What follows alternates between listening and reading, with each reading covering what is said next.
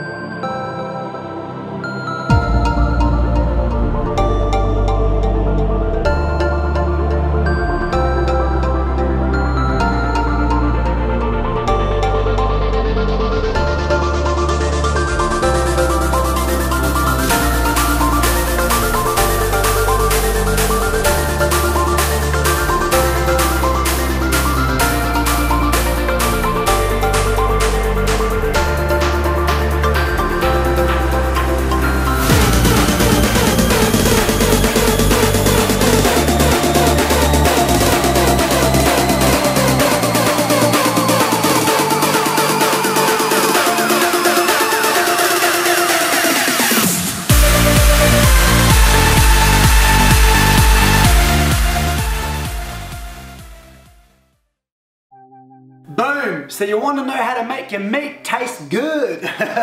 I know that sounds really, really strange, but anyway, this is what I'm all about. So guys, today's video is about how to make your meat succulent, not dry, alright, taste good without adding extra sauces, calories to blow your health and your calories out the window, okay? This is what I do with my members day in, day out, teaching you guys how to make food that you love to eat on affordable budgets, but so it's healthy for you and so you don't store it as fat, okay? Now in front of me I've got a whole lot of tasty little uh, seasonings and different little tricks that I'm gonna teach you. And today I've got a nice piece of fat, essential fats, salmon, okay?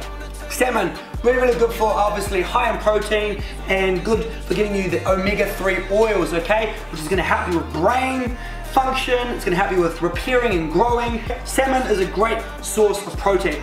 I generally eat it maybe once or twice a week because it is kind of high in fats and I like to just get a whole um, day of uh, essential fats in. But anyway, let's go through some ways of how I can season it up and make it taste amazing and succulent, okay? So generally, when I cook my salmon, I will season it up, okay? So I've got some, a couple different ones here. I'm gonna come around and show you real quick.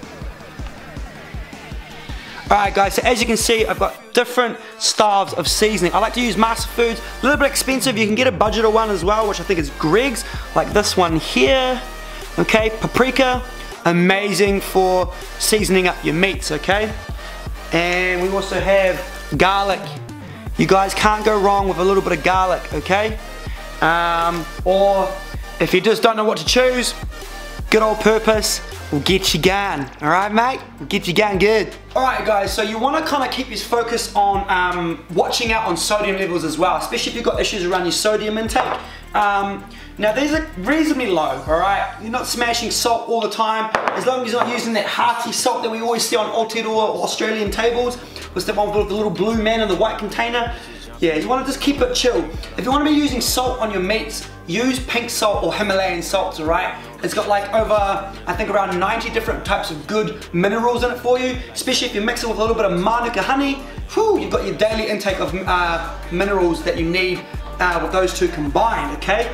So, I would generally just use one of these, I'm not gonna use all of them, okay?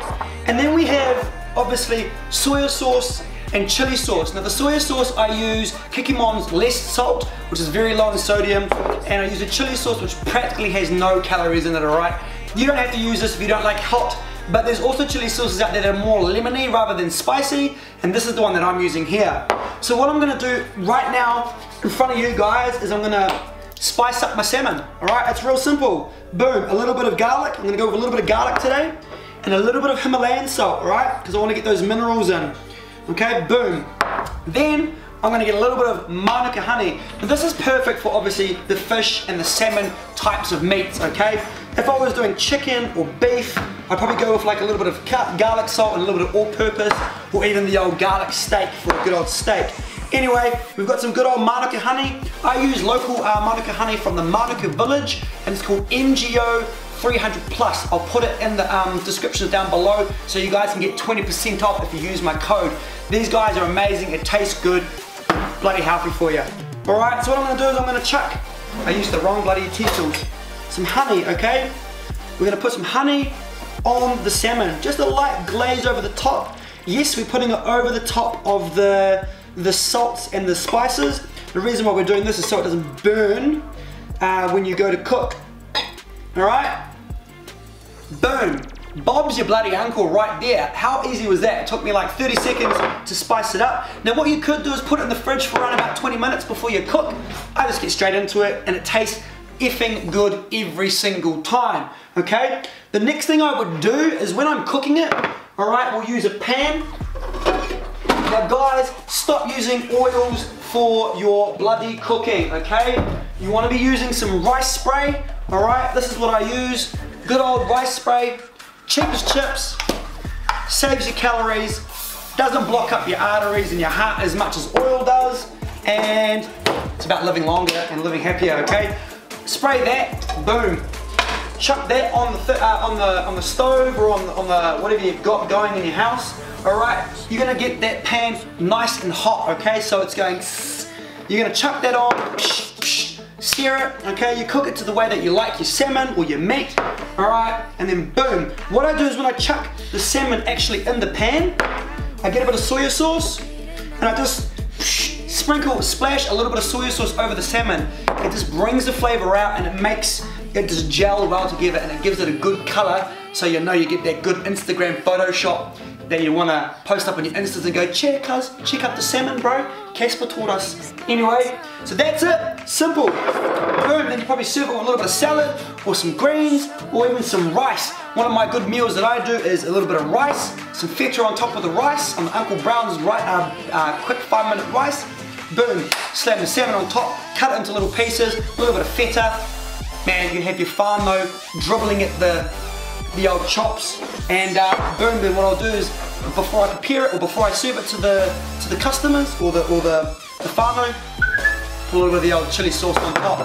That's it. Simple, easy, every time it makes your meat succulent, it tastes bloody amazing and you're gonna love it. Remember guys, you can do it with chicken, steak, lamb, even with your mince. If you're gonna use mince, don't go prime, always go premium. Premium mince is a little bit more expensive, but it's lower in fat and it actually tastes better and that's good for you as well. Alright guys, so get that into you. Make sure to share this. If you don't share this, support the Cuzzy. Click that uh, like button down below and maybe even the subscribe button if you thought this was awesome after you tried the meal. Anyway guys, heaps more coming my uh, coming your way, not my way. heaps more coming your way. Hopefully you guys enjoyed this and uh, boom, kia into dust, into dust.